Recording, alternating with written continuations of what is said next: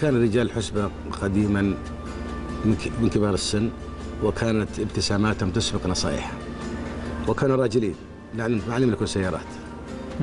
وكانوا يتجولوا في الأسواق يمنعون التدليس والغش أيضا يدخلون مثل حماية المستهلك كانوا. لهم دور يعني دور رقابي. وكانوا متسامحين يعني.